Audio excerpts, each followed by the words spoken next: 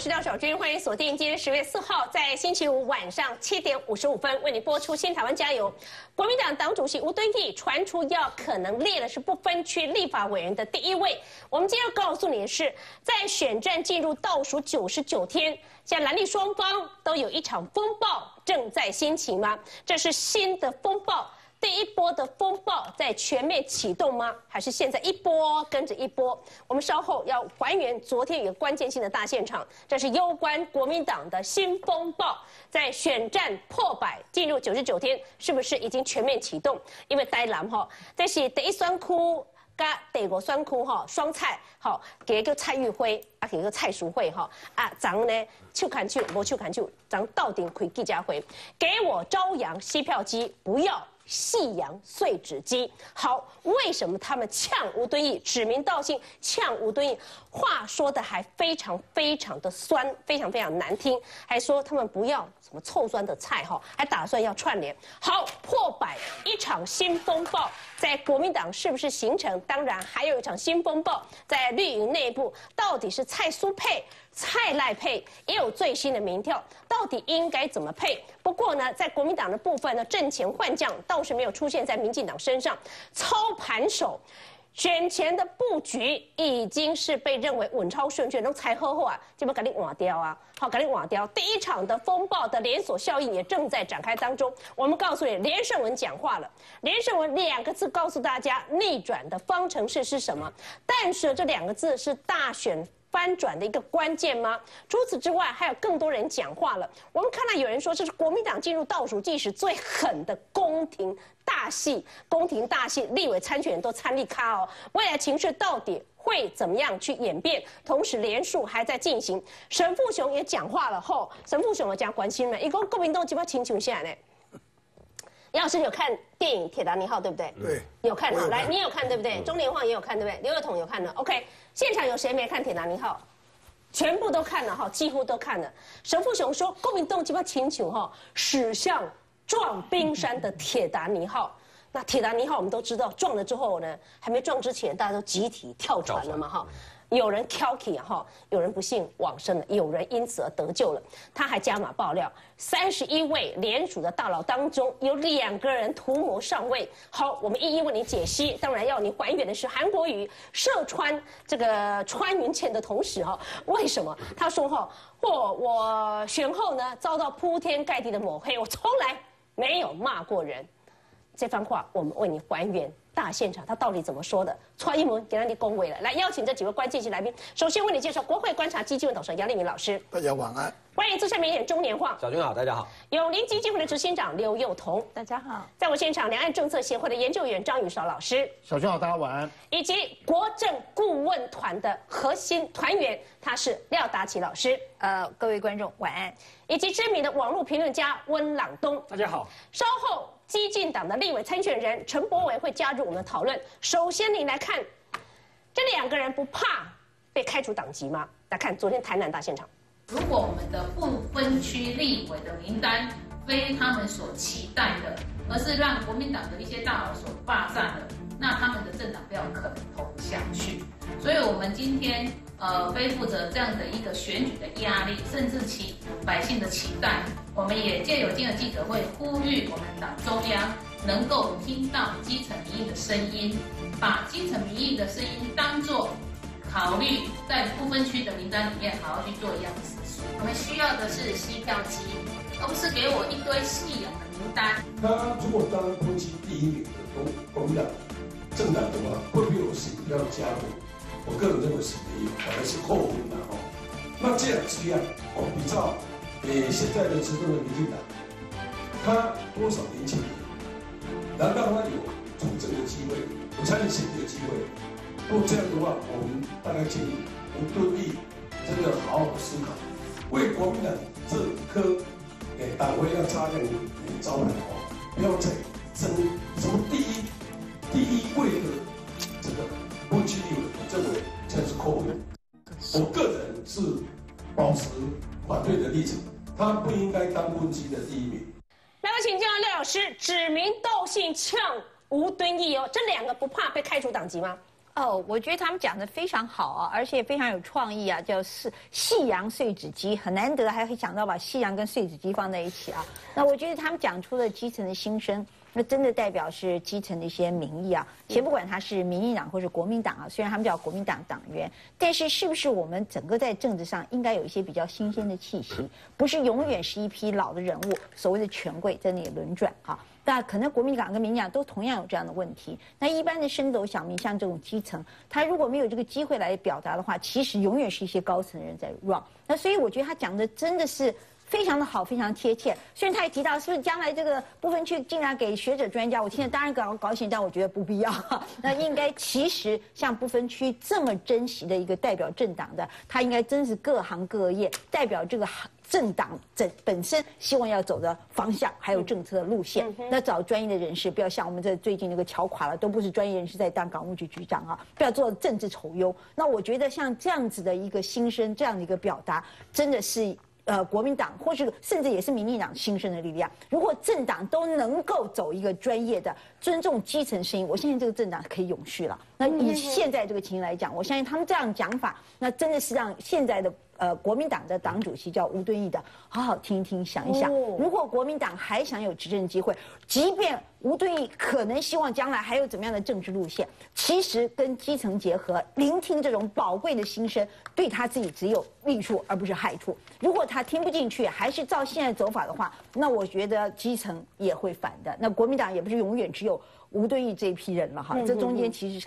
还会有其他的变化，所以我乐见这么多基层声音表达出来。那你应该知道，吴敦义被问到说：“哎，外传你要出任不分区的立法委员第一名，你知道他的反应说什么吗？”哈，他说：“我我我不可能立即回答，好，我没有办法立刻回答。”好，那我们接下来这么聪明的人，这话当然就已经有了玄机了。有了玄机但是我们郑重的呼吁，郑重的提出来，千万千万，吴主席。你不要当地分部分区第一名，你可以列第十五名。如果你觉得国民党可以有那个实力，你要做那个最后压阵牺牲，让大家拼命投，让你还有机会。这是韩国的先生没错嘛？啊，不是不是，我这我代表我自己。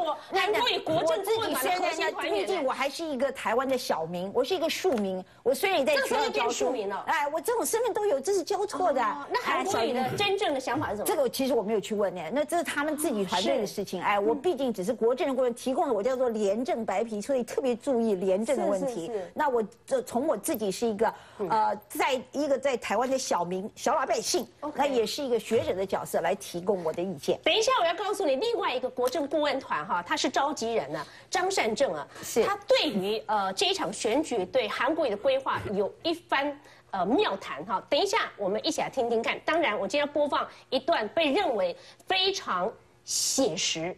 也很反映现实的影片，等一下一起来听听看。但是呢，来要把镜头交给中年晃之前，来连晃来听听看好不好？沈大佬在选战剩下九十九天破百的时候呢，他怎么来看国民党最新形势？来听听关键线七十秒。会讲铁达尼撞山的那种感觉哈，恐怕是我算是最早讲的一个，而且讲的次数最多的。我的意思就是说，这个十一月一一月十一号，明年啊，这个船渐渐一百零一天，这个船渐渐朝冰山撞去的感觉是有，但是呢，我不认为它的结局像铁达尼一样，因为铁达尼撞了以后就整条船沉在海底嘛，应该不是，因为国民党撞山以后啊，这条船还在啊。这条船并没有在海底，是哦，所以呢，用这些救生艇，然后大家吴东义主席搭第一步跑掉了哈，这我觉得这个是不伦不类。嗯，为什么呢？因为如果救生艇有二十步啊，大家都跳上去了，这二十步救生艇难道还要回到同一个地点集合吗？哦，还有他们要到哪里去？就各自就耍掉了。有有这个样子吗？我认为不是。我认为国民党败选以后啊，其实这一条路还在，还浮着。要不然为什么要去争做船长呢？为什么要争？大家要争做下任的党主席呢？这个船还在，还在啊，还在啊。所以哦，铁达尼的比喻只有前半段渐渐靠近冰山那个感觉是对的，对的。但是选完以后，这条船没有像铁达尼那么惨。好，到底什么样形式哈？这是他脸书也说，政治是豺狼们的杀戮战场哦，政治是大坏蛋专属的国营事业。这是一个国民党正在驶向冰山的铁达尼。不过他说，因为我把他们比喻成沉船前甲板上的弦乐团呢，必须拉弓到最后一刻。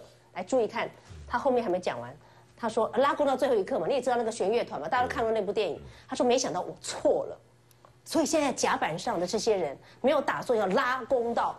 拉弓到最后一刻，这三十一人当中，起码有两位正处心积虑梦想两个位子，党主席跟立法院长，而且不止于停在构想阶段，甚至已经频频出手，吃相难看到在家不堪。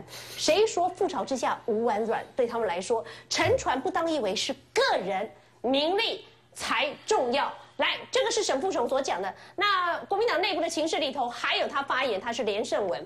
来，那个中联话，他说，呃，徐宏庭议员能够展现勇气，在国民党中常会讲真话，实在不枉费我们多年来对他的支持，也证明国民党中常委中绝对不是只有喜鹊，还有乌鸦。两千零一年到两千零五年，国民党度过了非常艰苦的一段岁月，我亲眼见证。如果不是因为当时党的领导层，从主席、副主席、常委到各级工作人员秉持无私的精神。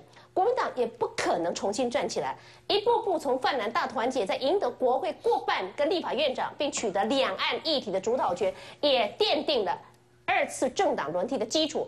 国民党今天从形势一片大好到陷入困境，或许所有在舞台上的人无私演出，才是我们最后逆转胜的关键。来，你怎么样看？这是一个选战破百当中一场新风暴正在形成吗？我形容国民党目前这个状况啊，有点像这个过去我们在历史上读到的呃东南自保运动。为什么叫东南自保运动呢？就是呃各自跳船逃命哦。呃，沈富雄用铁达尼号来形容啊。呃，大家看过铁达尼号应该还记得，除了那个弦乐团拉到最后，呃很让人感动之外，其实还有一个镜头很让人感动。当所有人都逃生之后，那个船长他还在船上。他最后还去跟那个弦乐团的指挥握手，说很高兴、很荣幸跟你们共事。最后船长是跟着船一起沉掉了。那呃，如果这艘船铁达尼号啊，如果大家想想看，如果当时历史重演的话，当时是船长第一个跳船，然后其他船员呐、这个厨师啦，哈，全部都还在船上，大家对这位船长的评价恐怕又不一样哈。那。现在国民党这个东南自保运动呢，分两个层次，一个是立委的层次，小鸡；一个是这个呃这个位高权重的。我我给大家看两张照片，你就很清楚哦。呃，这这张照片是这个，分别是马英九二零一二年、朱立伦二零一六年跟韩国瑜今年选前一百天的造势活动。最上面那张马英九二零一二年，大家看旁边站的江炳坤、朱立伦、胡志强、蒋孝严，所有的重要人物都到了。中间朱立伦那一次，即使选情不看好。但是呢，马英九、吴敦义这些人都到了。最底下那张韩国瑜选前一百天的造势活动，呃，我们大家叫得出名字的只有张善政。那你觉得这这这中间代表什么？好，那另外一张，呃，导播你拍下面的照片就好了。嗯，这一位是彰化的候选人，他叫谢依凤，在同一个路口看板，上面那一张是跟韩国瑜的合照，下面那张韩国瑜被消失了。前后不过几个月的时间，谢依凤何许人也？哦，彰化地区的乡亲一定很很了解他。谢依凤在以国民党在彰化来讲，谢依凤大概是当选几率最高的一位，因为她是郑汝芬的女儿，她的弟弟叫谢点林，现在的彰化县议会议长，在地方上是非常有实力的一位候选人。如果连这么有实力的候选人现在都要把这个看板的照片做一些小小的调整。这个也是东南自保运动的一环哦。那为什么会出现这样的情况啊？小军刚刚问了一个问题，就是说，记者去问吴敦义说：“你会不会把自己放在不分区？”嗯，吴敦义说：“啊，就有人这样建议啊，这个问题我也不好马上回答。通常我们如果不想的话，就说绝对不可能。嗯啊，那会这样回答，表示说他心里起心动念有想过这个问题嘛？好，那吴敦义的盘算是什么？我现在就跟大家来说明吴敦义的盘算是什么。国民党在明年一月十一号，这有两种结果，一种结果是韩国瑜当选，一种是落选。如果韩国瑜当选，虽然修改过党章啊，就是党的总统不见得是必然的党主席，嗯，但是韩国瑜如果当选总统，你觉得他想要兼任党主席会很困难吗？一点都不困难，哦，大家到时候大权在握，要兼任党主席啊，跟他斗定你干嘛嘞？哦，就干单呢。好，假设韩国瑜没当选，那请问党主席要不要下台？很大的可能性，党主席的下台。嗯，那小军，你记不记得两千年国民党败选的历史？哎，逼宫啊！当时是候选人叫连战，对不对？连战选输了嘛？嗯，那是是谁去叫李登辉下台的？就是连战，嗯，就是连战叫李登辉下台嘛。那呃，如果韩国瑜败选，有没有可能重演两千年的历史？因为，嗯我们都知道韩粉的凝聚力是非常强的。那时候马英九也有参与卡哦。对，马英九还被丢了鸡蛋嘛普？金普聪还被丢鸡对，蛋，被丢了鸡蛋嘛。跟呃金普聪因为护着他到对这个广场之前，对，嗯没错，所以那个画面大家都记得，就是说韩粉的凝聚力是强的啊，不管韩粉有两百万有三百万，它总是一个呃还算不小的数目。那如果假设韩国瑜选输了，但是呢这一股气全部出在国民党头上，出在吴敦义头上，以韩粉的团结跟凝聚力，因为国民党党员是直选，所以一月啊十一号党主席是韩粉的党员直选。出征日有可能会上对。，如果这些韩粉们呃有国民党的党籍，那请问在改选党主席的情况之下，国民党现在以现在的情况，谁能挡得住韩国瑜？大概没有人挡得住他，他大概有可能会当上国民党党主席啊。那吴敦义当然清楚嘛，因为连我都看得出来，吴敦义当然看得出来，所以吴敦义现在的盘算是什么？这当然跟郭董也有关系了哈。目前看起来两大党，呃，没谁都没有把握明年在国会可以过半数。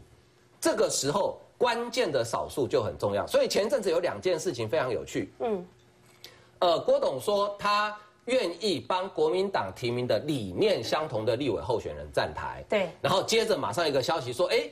这个吴郭会哈，有可能在两个礼拜后有可能了哦。但是后来呢，呃，因为郭董大概也有人跟他分析，也有人也可能可能也看了这轮节目，他知道吴敦义吴主席哦，恐怕呃这个跟他见面的想法不是那么单纯，所以后来他说啊，那我们暂时没什么事好聊，我们先不要见面好了。哦，吴敦义在盘算什么？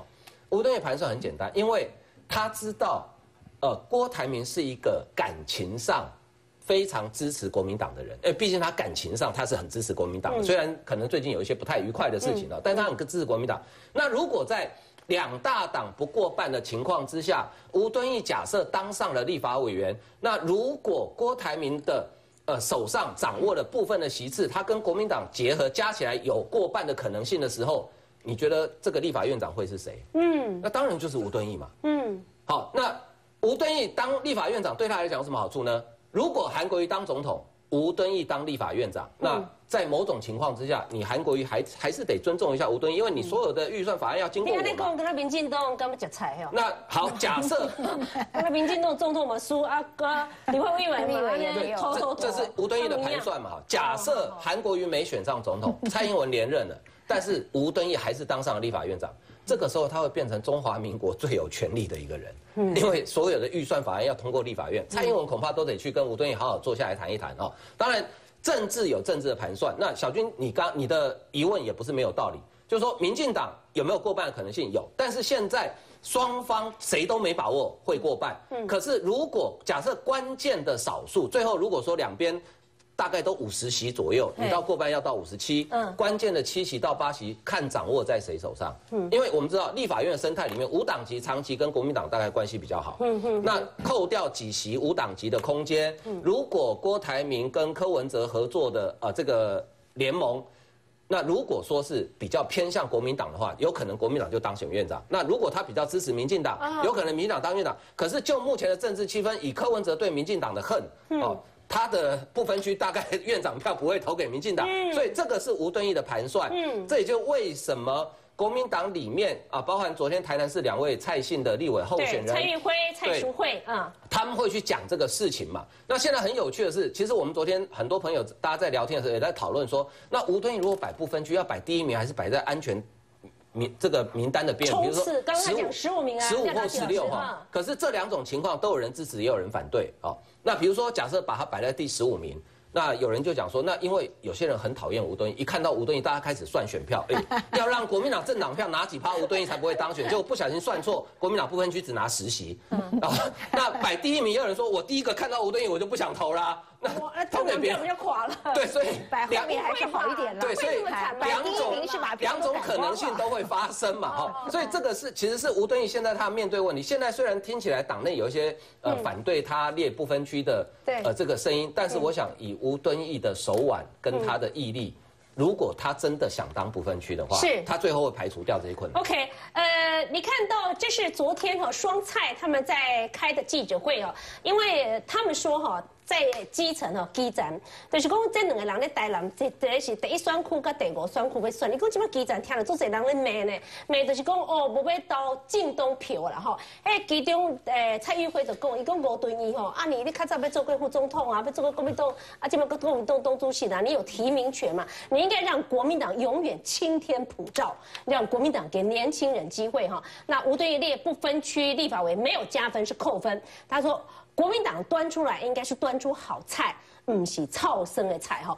哇，指名道姓讲的还蛮难听的哈。包括铁达尼撞山来自于沈富雄，包括了连胜文都很忧心。来，姚老师，这个国民党是真的真的，我看这两个 的确嘛，已经被开除。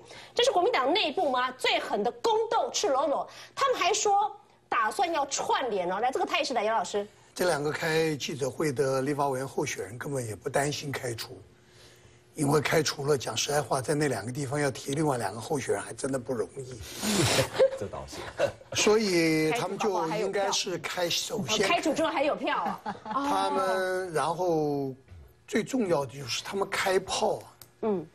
这个是这个是完完全全冰山的一角。嗯。这个绝对不是只有两个人有这个意见。嗯。而是党里面大概有相当大的比例。有相当多人现在正在担心国民党实质的分裂。在总统选举前一百天，今天是九九天啊，好好，这种实质分裂，当然呃是不可思议的。在过去选举各界的，嗯，如果四任总统的选举中间各任来看，大概都是不可思议的一件事情。怎么讲？就在最后九九天，居然爆发。两条路线，跟这一个两个位置的争执，这么早就爆发了。当然，它的起因点当然是韩国瑜被党内许多的人，我自己也被征询过，啊，就是征询过。其实，在国民党里面，党也要做民调，嗯哼，我自己也被征询过。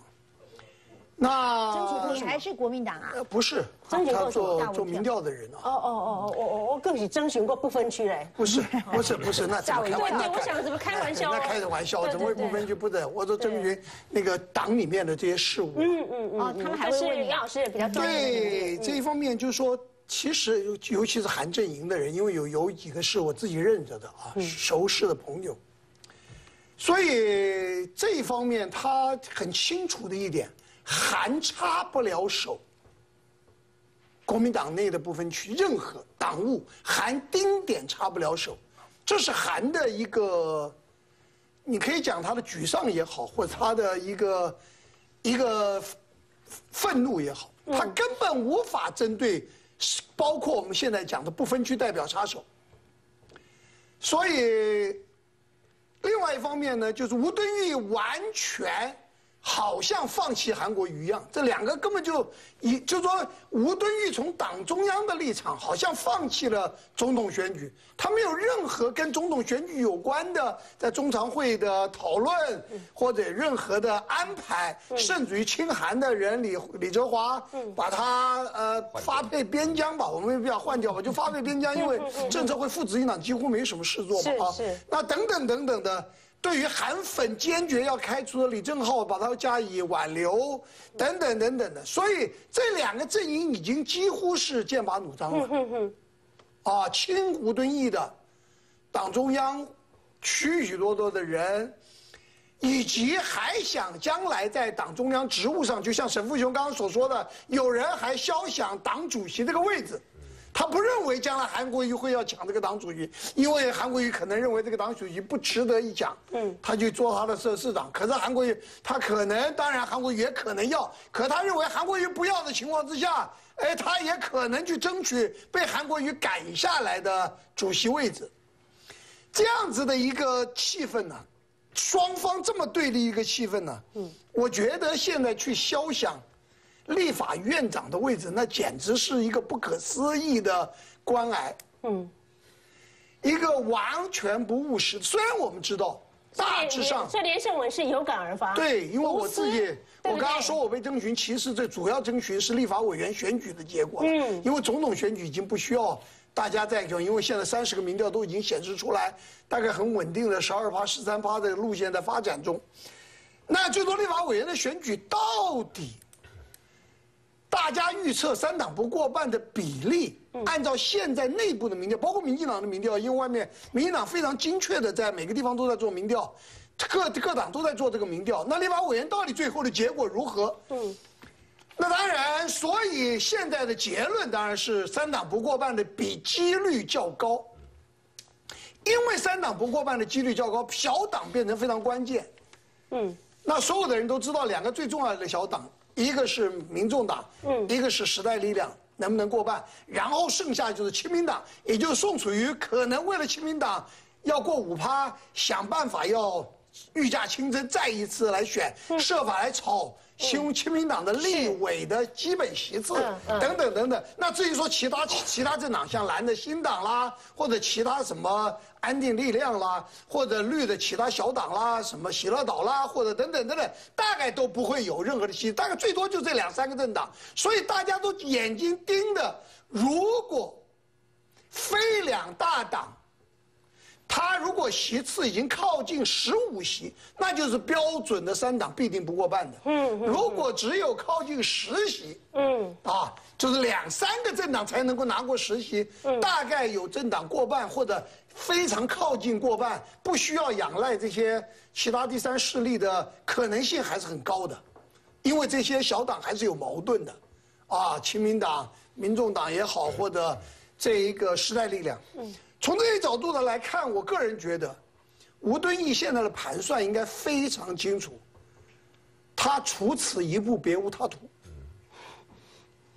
他要在选后还扮演一定角色，因为他已经认定，他大概主席保不住了。理由非常简单，韩国瑜落选了。嗯，别的理由不要别的理由，韩粉就不会容他继续存在。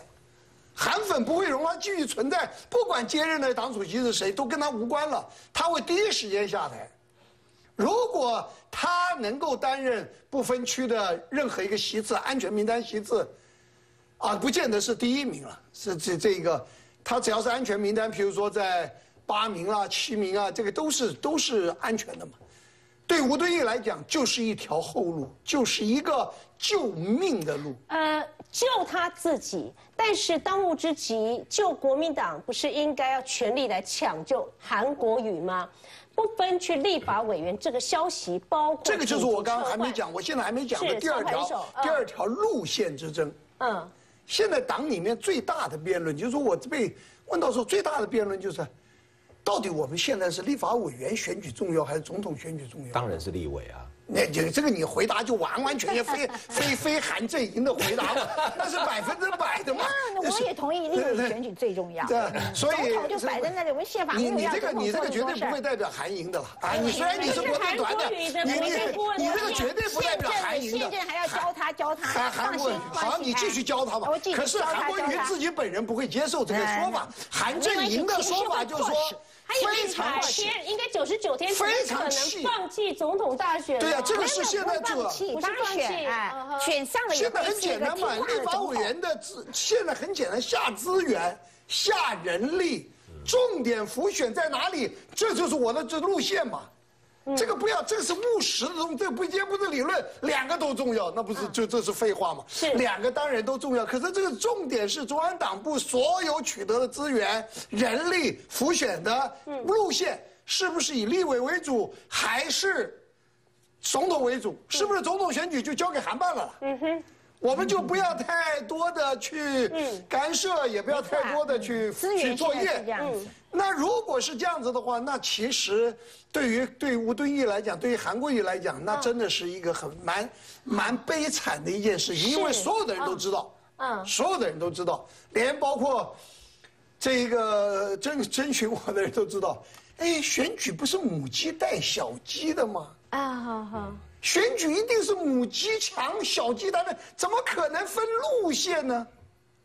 怎么可能分路线？那他们的概念很简单，因为现在就像刚才年黄讲的，有人在撤退嘛，有人现在发觉韩国瑜的年轻票太弱，嗯，韩国瑜在中立选民太弱，非常担心在地方上五五波的选举会被韩国瑜带垮，嗯，这是所有许许多多那个如果今天是六四，或者介像台北文山区啊，还稳稳当当，他他一点都不会介入到这种讨论。哦。他非常介入说，韩国瑜如果完全不得不到青年人或者中立选民的支持，那是不是会带动我的立法委员的选举？如果再继续这样下去，那我当然要自保。哦，所以我当然要去离开总统候选，因为这个气氛在立法委员里面越来越重，所以整个党里面就有这一条路线。所以在我来看，嗯，其实很难，所以我刚一开始就讲很难想象。一个一百天之内的选举，居然还爆发这么严重的路线之争，那你认为国民党选举还有怎么可选的吗？几乎就说他们光把这一套平息到不分区名单提出来的十一月中，啊，就是说光讨论这一段，然后到十月中名单一提出来。再爆炸一段时间，剩下只剩下大概一个多月时间了。我难以想象哈，呃，二零一八投完票到现在不到一年的时间，迄时韩国人算的是外清呢，一压单机麦压十五万票呢，还是。一人救全党嘞！阿金马先生，一人要毁全党吗？你叫立安那回事不，不是我讲的，不是我讲的。不是说他毁不到了，现在党是归他，全党跟他是两回事。对，因他一个人要全面在沉船，所以在集体跳船当中吗？那我请教是这个幼童哦，呃，刚刚看到新风暴哈，这属于就是内斗在内部的部分，一波一波，我也不知道一波一波到底要到哪一波了哈，起码看起来就是抢抢棍嘛哈。可是我们看到在。外部方面哈，从七月二十八号呢，国民党的全代会通过了正式提名韩国瑜为国民党二零二零总统候选人。到现在，你看七月二十八号、八月、九月，已经两个多月的光景哈。呃，我很难不说，你们的整合是不是宣告破局？就是跟韩国瑜的部分了。为什么这么说？我播放一个关键性的影片呢？可是呢，因为这个影片之前呢，我们特地帮观众们做一个整理哈，因为。这个我听到刘幼彤讲，听过这个高鸿安告诉我们说啊，因为决定要退党、要退选的郭台铭先生是五党一身轻嘛，哈，当天呢还去打高尔夫球。来，我们看一下，五百人退团了，那郭台铭有一点在意哈，还蛮在意这些声音，所以呢，郭吴就不要见面了。十月二号，蔡庆宇是这么说，郭台铭跟吴敦义目前沟通管道顺畅哈，两个人都有见面意愿。吴国会已经进入幕僚作业，适当时机会会面。十月二号，其实就在前天而已。到了十月三号呢，同样，呃，他又说郭台铭得知不少郭粉对此十分不满。吴国会若无重大议题，当然就可以暂缓了哈。这个时候呢，我们就看到那个欧阳龙这边讲，呃，如果郭台铭有所顾忌，一切随缘，尊重对方，国民党也不会太在意。好，注意看，在昨天的时候呢，我们看到这是吴郭嘛，哈。来吴郭嘛哈，吴敦义跟郭台铭，接下来很重要，这两大咖到底可不可以整合？我我我讲的是这两个，好这两个，在想都是这个，跟你的老板这两个人，好这两到底可不可以整合？是这两个人啊，哈这两个人哈，一个一个头毛较多，一个较少的哈，这两个人，这两个人，你看咱也是原来讲呢，呃，庆宇说。郭台铭对韩国瑜没有太大意见哈，但从初选到现在，特定媒体对于郭有不实报道，加上呢韩国瑜对中国态度也没有办法说清楚。如果韩国瑜觉得这两个条件严苛，那对我们来说其实也没有见面的必要嘛哈。然后就是叶元之说，两个条件太严苛了，是基层跟台北市议员的声音。现在韩正营没有跟郭董见面的规划，来注意看哦。叶元之是这样讲喽，现在韩国瑜阵营。没有跟郭董见面的规划，没有跟郭董见面。我们用白话一点了哈，男女朋友谈恋爱，等于一一个立功，嗯，我对你没有意思哦，我没有要追你哦。那这个是不到三个月，郭韩的整合宣告破局吗？我让你看一个 VCR，这个台湾之迷音，他们这个 VCR 里头是不是很写实，非常写实的反映出现况呢？来看看这个关键性的 VCR。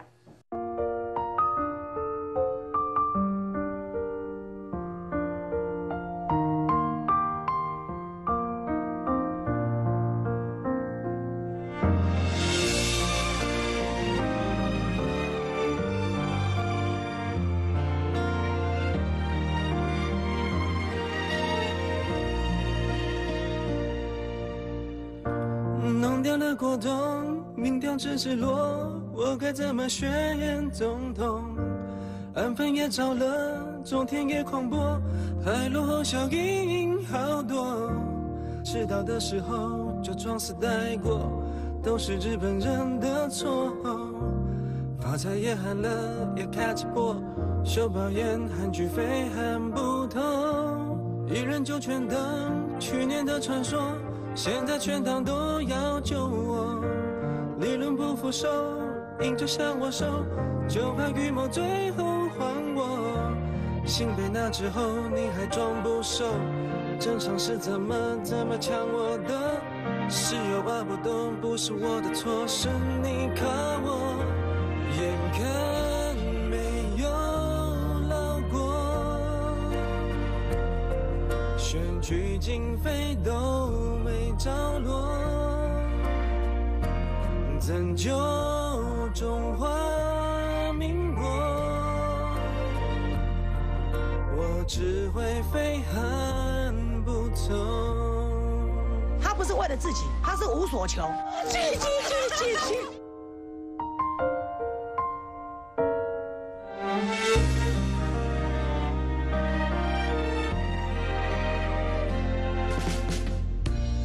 前人生活简单朴实过，枯燥的快乐你不懂。要选就骂我，不选就把我。国民党当情绪勒索，你选择出头全排挤我。初选是怎么怎么到我的？现在装死了还要我难过就怨重收，眼看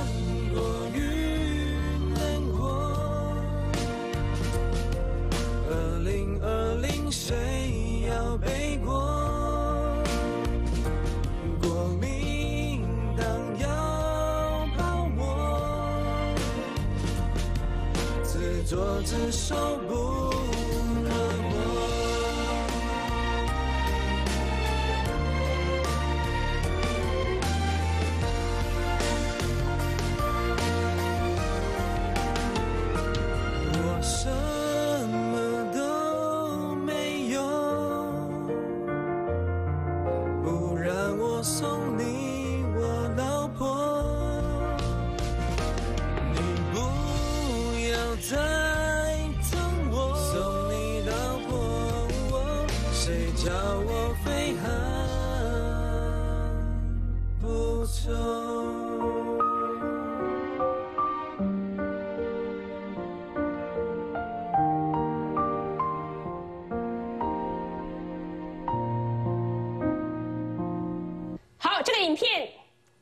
写实算不算反映现况？来，幼童，刚刚我们讲白一点哈，如果国民党内部内斗一波波，啊，跟郭台铭的部分比较属于是外斗好了，呃，至此哈，这样的发展是不是宣告不到三个月的整合已经是破局了？来，是不是这样子看？包括从选票结构的话，郭粉的动向，我觉得啊，如果说大家可以想想，其实。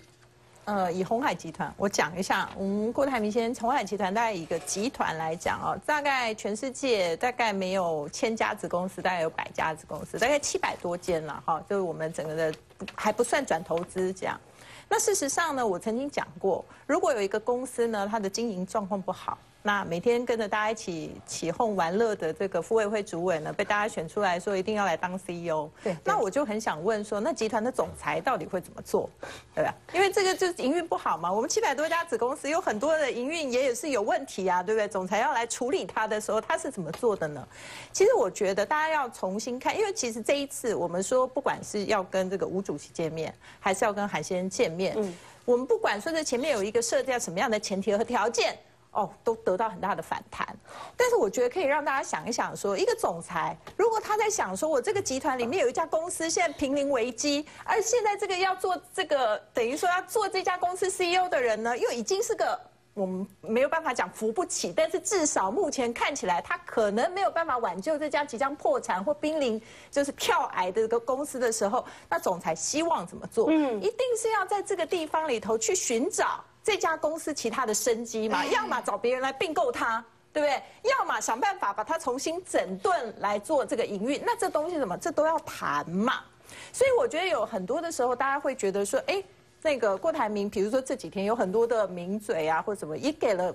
郭先生有很多的意见，就是说你这个是在政治上面太清纯，你把很多的事情想得很简单。但是我觉得大家要想的是说，这两天其实郭台铭先生一直不断的想的，他一直告诉大家的就是，他其实参选总统从来不是为了说我今天想要当总统，他一直想的就是说我如果能够在这个时刻为中华民国做哪些事情，好，那现在他不选总统了，那他这些愿望要由谁来实现？嗯，那看起来这个。服委会主委应该是不是太有机会了？好，那要如何寻什么样的管道去实现这件事情？所以我觉得，其实很多的郭粉或者是中间选民哦，我觉得在所谓我们这种政党政治的这种非蓝即绿的这种生态当中呢，其实是真的常常是很情绪性的。比较有一些，就是说，我觉得很大的反应，尤其是在这个过程当中，可以看到我们的吴主席荒腔走板，我们的这个服委会主委呢，现在也是拿不出什么样的方式啊，就是三支箭射一射，我们也不知道他射到哪里去，可以得到什么样的结果。那既然是这个现状是这样，而郭台铭先生还是希望能够为国家做事的时候，其实他现在是陷入很大很大的挣扎。哦，现在还在挣扎，现在还在天人交战。挣扎不是说他自己要选，而是说以面对这样的情势而言，如果真的要为国家做事，可能要实现的地方就只有立法院。嗯，那所以在立法院如果要实现这些事情的话，那怎么样才是今天有这么多，不管是小党也好，蓝的也好，绿的也好，在中中间要怎么样走出一个局面来？我觉得就跟他过去看到一家公司濒临危机的时候，要怎么样去整并它，要怎么样去处理它，再加上。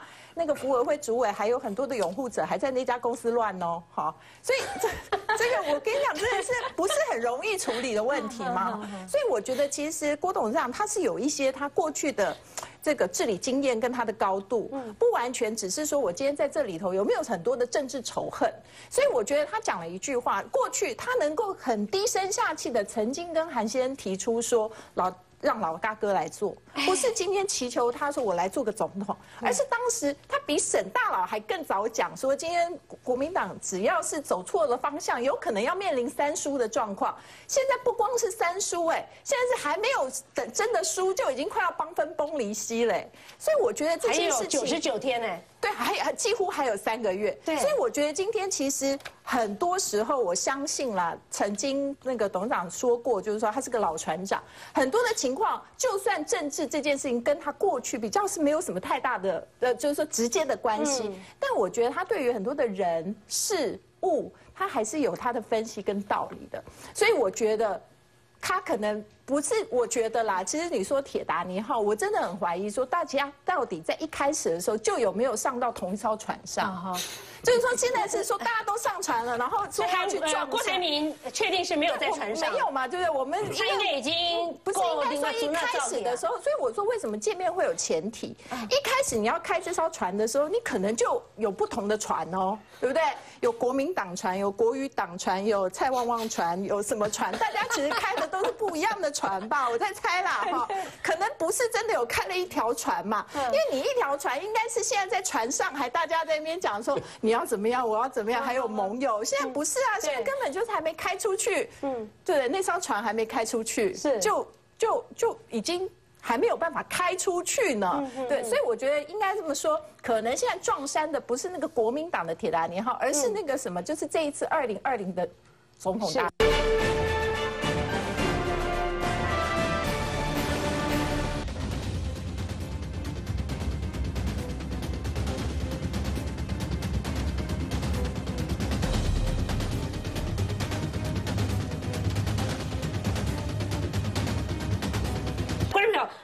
来到我们现场，包括了资深媒体人中年化国会观察基金董事姚立明老师，以及两岸政策协会的研究员张玉绍老师，国政顾问团的核心团员，这是廖达奇老师，知名的网络评论家温朗东，还有呢博维会加入我们讨论。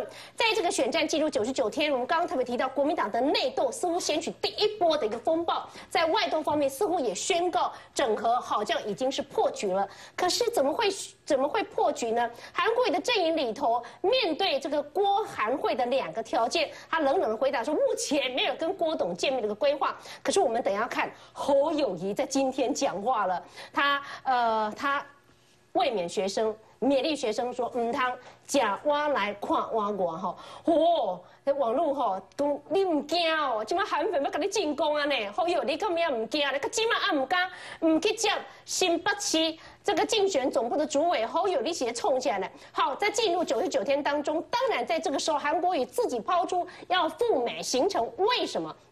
还原高雄市议会，为什么他还是讲不清楚呢？是赴美，呃，访问行程有出了什么样的一个玄机，甚至是大问题？